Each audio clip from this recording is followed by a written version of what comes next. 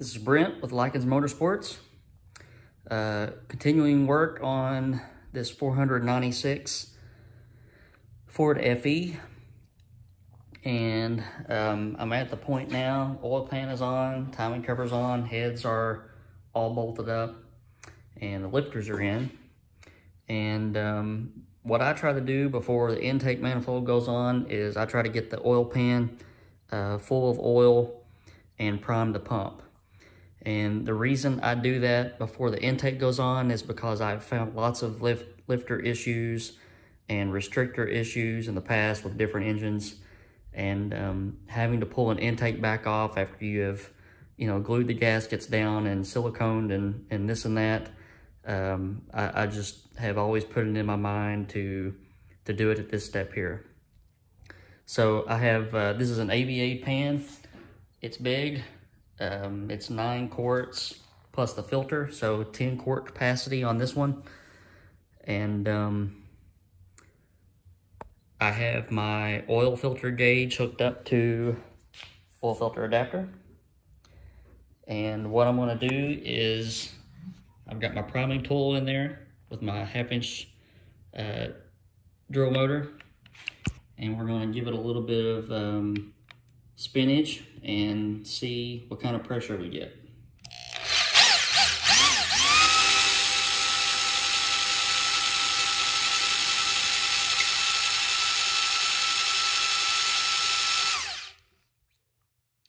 So we saw about 90 PSI, and that's pretty normal with a high volume pump.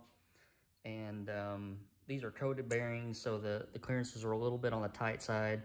And this is cold oil and I'm using Valvoline VR1 non-synthetic 10W30 and um, when the engine warms up on the dyno and the oil temp goes up uh, that pressure will drop quite a bit. So this is a fresh build brand new on the stand. What I'm to do is um, kind of hit all the points where we can get leaks and just make sure that we don't have any. Um, this is your main galley gallery plug and it's it's dry um, all your side plugs are dry. All the ones in the rear are dry. And um, we plugged, I got restrictors in the heads, but it's not a pipe plug, so it's not tapered.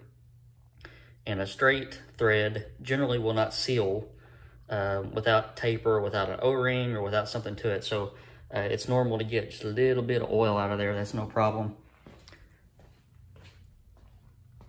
Same with, same with this one. But uh, I want to see generally uh, at least 70 PSI of oil pressure on the gauge. And uh, I have ran into problems in the past where that did not show and I went looking for an internal leak or, or something else and, and was able to find it. So this is a really good step to take before uh, you put the intake manifold on. Um, just prime the pump, you know, make sure everything's good.